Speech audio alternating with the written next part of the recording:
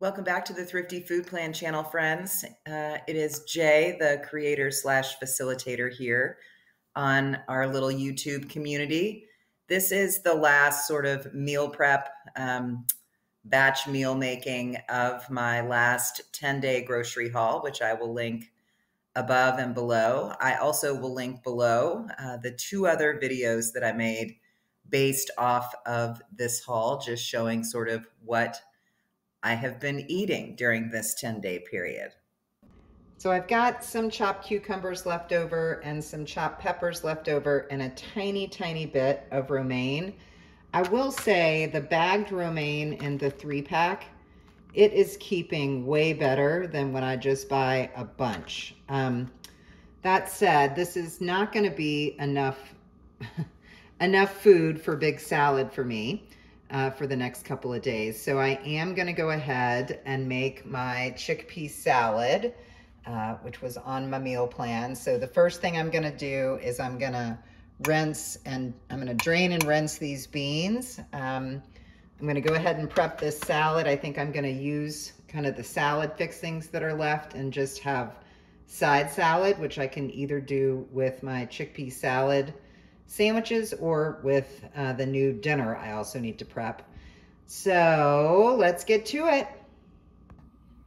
Hello. All right, so I've got my beans in here that have been rinsed and drained, and I'm just gonna show you how I'm gonna make the salad, pretty basic. Uh, so I have a tiny, the dregs of my regrown green onions. Um, they are not gonna last another time, so I'll need to get green onions when I go to the store again. I'm gonna just take what I can salvage off of this and put it in there. I don't always put onion in my chickpea salad, but if you like onion, you can. You also could use some onion powder if you've got that, if you want to. Um, but the big things that I know that I need um, are gonna be some dill relish. And I had, to, this was like the last of a last of one that I had already. Oof, old person hands can't always get things open anymore. All right, so I'm gonna do like two tablespoons of dill relish.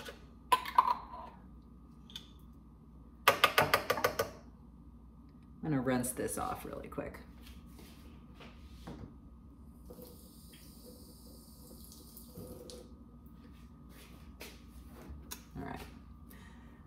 Sorry. I can't figure out how to make it so y'all can see the bowl and see me and it feels awkward, but I will keep working on it. I'm just not a videographer. I'm a regular person. All right, and then the next thing I'm gonna put in is the junk food item that I bought at the store.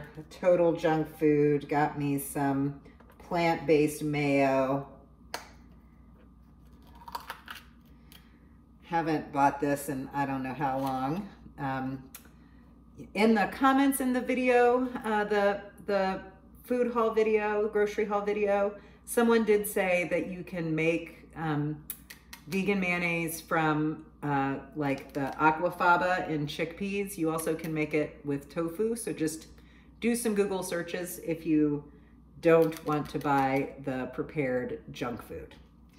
So I'm gonna start with like two tablespoons of this mayo.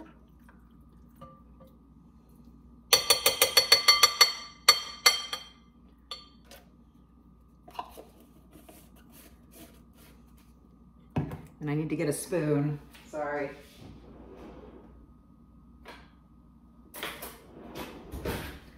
Or a fork, as the case might be.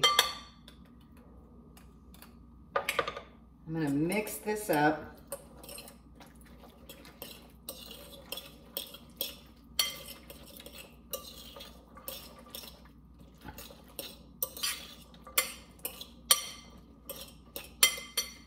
And then for my green onions, um, one thing I would just say is that like, I use scissors to cut them. It just seems easier and I can trim off the brown parts.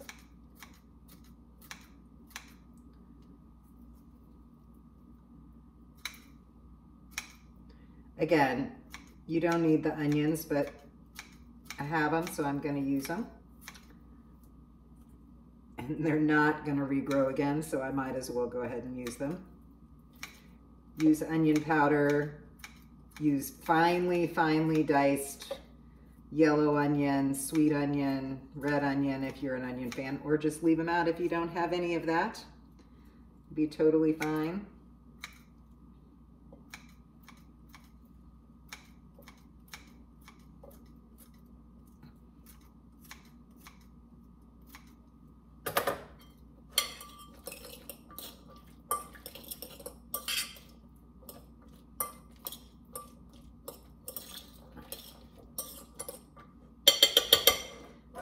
Now I'm gonna use a potato masher to try to mash this a little bit. Give it a little bit more of the consistency of a chicken salad or a tuna salad if it's mushed.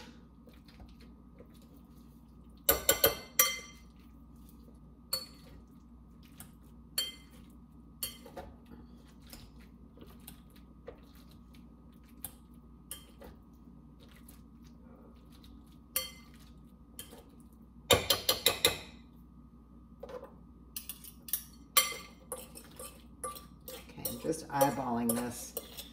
All right, I do think it needs to be mushed some more.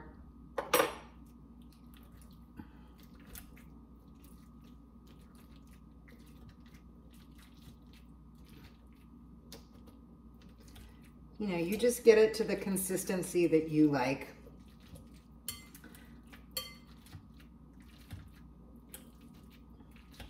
And I clearly like mine a little mushier.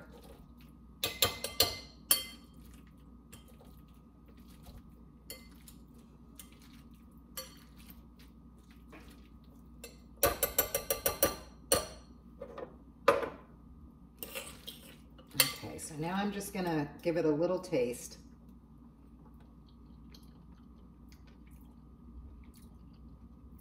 All right, for me, I want some pepper in it.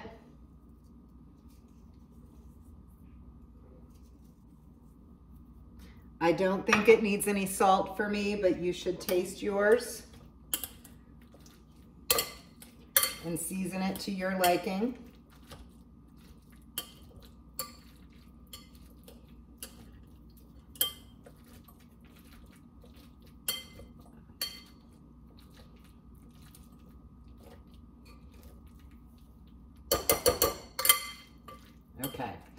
So what I'm gonna do is like before I eat this, I'm just gonna cover it either with a cloth or some saran wrap and I'm gonna um, put it in the fridge and just let it settle in the fridge for a couple hours before I actually eat lunch. So I'll see you in a few. Okay friends, it's time for me to put my lunch together and I'm hungry. So I have a toasted English muffin I use English muffins because I can get whole wheat Kroger brand pretty cheap and I can use them for sandwiches and buns and I just buy them instead of regular bread and they're whole wheat and cheap. All right, so I know that I want to get like at least three lunches out of the chickpea salad. Sorry, videographer I am not. Uh, so I am gonna use this little ice cream scoop to try to portion a little bit. So I will do one scoop. Wow, that's a lot. Might be able to get multiple meals.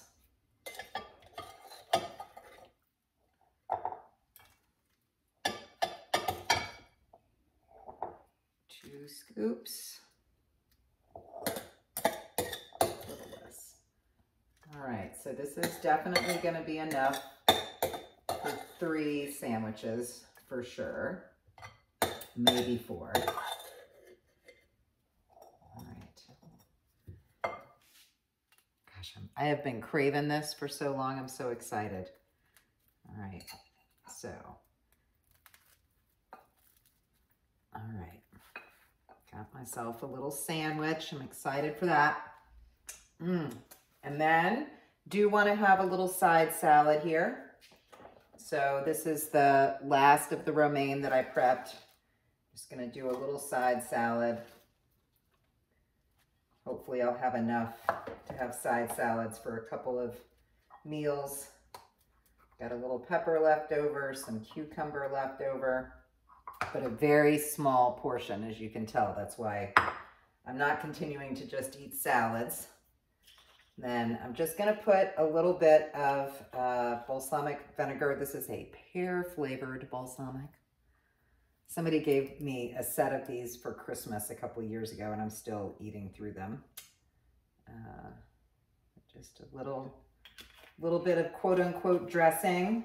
I'm gonna add a little pepper to that because that's how I like it. And this is going to be my delicious lunch. Yummy, yummy. Right, hi friends. Uh, so I'm getting ready to make dinner. And again, this is a super, super simple recipe. Um, and I just wanted to talk about one thing before I get into making it. So potatoes, you need five cups of shredded potatoes. You could buy some hash browns instead of shredding your own, but I'm gonna shred my own. And then a bag of broccoli, very exciting. Now the ingredient that I'm using that I'm assuming none of y'all have, or very few of you have, is this cheese sauce from uh, Well Your World, which is delicious and vegan. Um, and my guess is most people don't have this. Now, if you're vegan, this cheese sauce is basically made with nutritional yeast, potato flakes, uh, some spices, right? Like onion powder, garlic, paprika, turmeric, gives it the yellow flavor. Um, and there are two ways that you make it. You can either make it with water or you can add some cashews, which makes it super creamy. I don't have any cashews, so I am just gonna make it with water. But if you don't have this, um, I'm gonna drop below kind of a recipe for a cheese sauce you can make um, that's vegan. If you are not vegan, feel free to make your own cheese sauce. And there are two ways, you know, that you can do that. If you've got a little butter and milk and cheese and maybe a little flour, just make yourself some cheese sauce on the stove top. And if you don't have that, if you have two boxes of mac and cheese, like boxed mac and cheese, not the creamy kind, the kind with the powder, just take the take the cheese packets out of those boxes, reserve the pasta for a later use, and just make your own little cheese sauce with what comes in the powdered mac and cheese box, okay? So just wanted to talk about this because it's an unusual ingredient that I'm sure a lot of folks don't have. I'll put a recipe down below for vegans. And if you're not vegan, make your own cheese sauce with real cheese or with the packets in a mac and cheese box. All right. Okay, so if you, like me, are shredding your own potatoes, remember that you need to kind of press them and get as much water out as possible. Um, right? Just try to get as much water out as you can. And I'm using paper towels, but you also could use a regular towel, okay? See all that water? A lot of water. We want to get as much of that out as possible. Okay, so this really is like the simplest recipe in the world. So I've got potatoes in here that I have tried to get some of the water out at least. Ooh, really big pieces of broccoli. I got the cuts because I thought they'd be smaller. But let me try to break some of these. And put the broccoli in. I'm gonna take out the big chunks because those are not gonna work.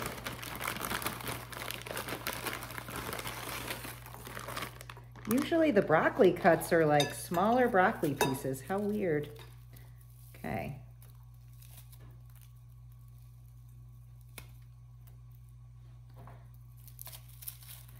All right. So that is one bag of broccoli cuts with some of the more gigantic pieces taken out. Then, okay, hold on. And then I made my cheese sauce in like a blender. I think I've probably got like a cup and a half of cheese sauce maybe. Using what I have.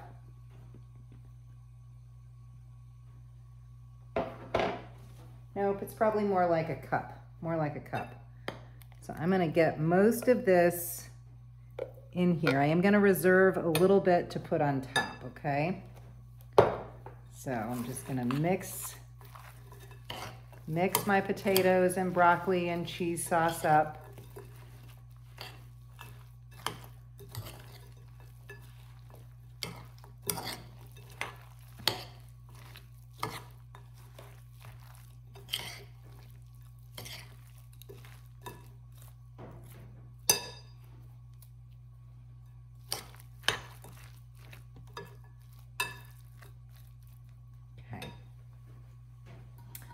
Then I'm just gonna scoop it into, I think this is a nine by nine or eight by nine pan. I'm just gonna scoop it in here.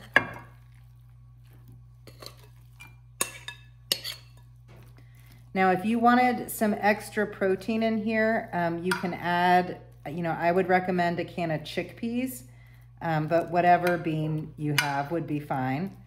Um, I had plenty of protein today already, but if you wanted to add some in, I might recommend chickpeas. All right, and then I'm gonna get the rest of the sauce out of here.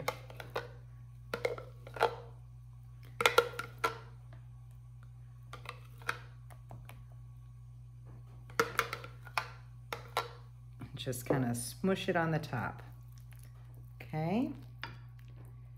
All right, and then this is gonna go in a 350 oven. I am gonna cover it with some foil for the first 20 minutes, and then for the last 10 minutes, I'm gonna take the foil off. Mm. Pretty good. All right, so I'm gonna put foil on, gonna go in the oven, 350. After 20 minutes, I'm gonna take the foil off, and then I'll cook it for 10, at least 10 more minutes. All right, that's what we got. Okay, friends, so here is my broccoli potato cheesy casserole.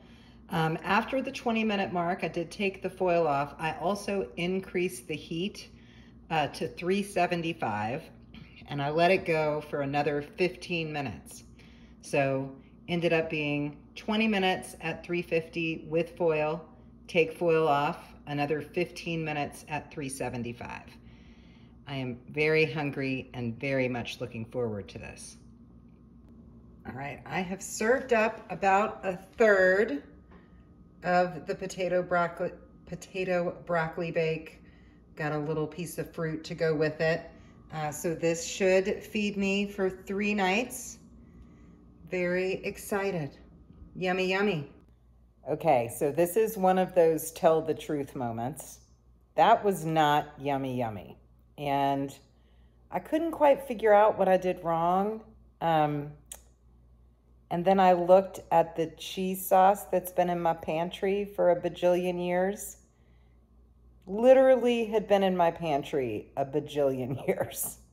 Um, the Well Your World cheese sauce is delicious. It's just not delicious two years after the best by date. So I will not be eating the broccoli and potato bake. I'm gonna have another chickpea salad sandwich for dinner, uh, probably with two clementines instead of just one. So I think that this meal would turn out really good and yummy the way that I remember it um, if I had cheese sauce that wasn't well past its best by date. That's not a slam on the Well Your World cheese sauce again. It's mine's just too old to eat. So don't do that. All right, I'm gonna have another chickpea salad sandwich for dinner. Not gonna show you all that again. Uh, thanks for watching. Sorry this was a little bit of a bust. Um, before we go though, let's do look at at least the dollar amount for the chickpea salad and we will try the potato and broccoli bake um, at a another time, and then I will do pricing on that. Boy, did I mess this up. So the chickpea salad sandwiches are an absolute bargain. Absolute bargain. And I will be able to stretch it to four sandwiches, um, which is great because I'll need them for lunch and dinner for two nights. Um, so can of chickpeas, 79 cents, two tablespoons of dill relish, 47 cents, two tablespoons of the vegan mayo, 28 cents, English muffins, four of those whole wheat Kroger brand English muffins, 107. The total to make four servings was 262 or 65 cents a serving. So definitely a bargain meal. And obviously, the omnivores out there, you all could use uh, eggs, you could use a can of chicken drained, um, you could use shredded chicken instead of the chickpeas, because this is just like a riff off of chicken salad, tuna salad, egg salad, except for vegans, thus the chickpeas. So you be you based on whatever it is you might eat. So, because this is the last what I eat off of that 10 day meal plan, I just want to pause and take a look at what was on the meal plan. Definitely had oats with raisins and apples across uh, the last 10 days. Um, I'd say as well, a couple of days I had bananas too. So, a couple of days I had. Uh, I had my oats with like a third or a half of a banana, depending on size, and a tablespoon of peanut butter that was delicious, I have to say. I didn't end up eating any smoothies across the 10 days because I was just eating through those oats, but still have it if I wanted or need it. Uh, had coffee, drank coffee every morning. I have eaten through a ton of fruit. Um, eight, I've I've got like one clementine left. I've got a ton of apples left. Um, I did eat a couple of bananas, but I froze some uh, to use later. I did make the homemade lemon hummus and ate that with carrot sticks. And once that was over, did have some air pop popcorn uh, for snack across the week. Lunches did eat the big salads uh, with my pinto beans until I got to the last little bit of the romaine, at which point I made the chickpea salad sandwiches that you just saw. And uh, given what happened, I will be eating those for lunch and dinner uh, until it runs out, with uh, the side salad until it runs out. Did have a sweet treat every day based off of the sweets that I was gifted um, from the work retreat I went to. Did eat through the summer lemon rice soup and bread. Also ate through my black bean nachos, um, which I did end up eating as tacos one night instead of nachos, equally delicious. And then obviously, I've had a big old fail with the potato broccoli bake. Um, that that did not go according to plan because one of my key ingredients was no longer uh, tasty or edible. So I'm gonna eat through those chickpea salad sandwiches, the side salads that I have left over, and my guess is this is going to end up being a nine day haul instead of a 10 day haul. So that's kind of where we are ending up with the meal plan um, based on that last 10 day haul. Okay, clearly, Thrifty Food Plan channel friends, this is a moment when the meal plan did not go according to plan. And I could not figure out a way to save that potato and broccoli bake. I have made it before and it was delicious. And so I really do think it's just because my powdered cheese sauce was past its prime, shall we say. Um, so dinner fails are part of life, I feel like. Um, could not figure out a way to salvage that one. Had another chickpea salad sandwich for dinner. That was fine, and I love that. I've been craving it, so I'm happy to have it. Uh, am curious, like, when you all have dinner fails, which I feel like inevitably has to happen to everyone, like how do you handle it? how do you handle a dinner fail? Do you eat it anyway? Like I'm not I'm not eating my dinner fail. Um, do you eat it anyway? Do you hack it until it's edible? I couldn't figure out how to do that in this situation. I'll take your ideas down below. Or do you do what I did and you just scrap it and find something else to eat? Um, would love to get y'all's thoughts and comments below. And then I also just wanted to say, Martha, on one of my recent videos, you asked me if I really mean it when I say yummy, yummy.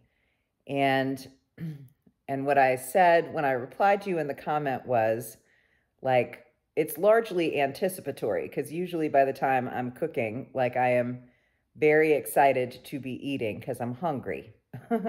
and I typically only make things that I like. It's not that I never make anything new, but I typically like the ingredients.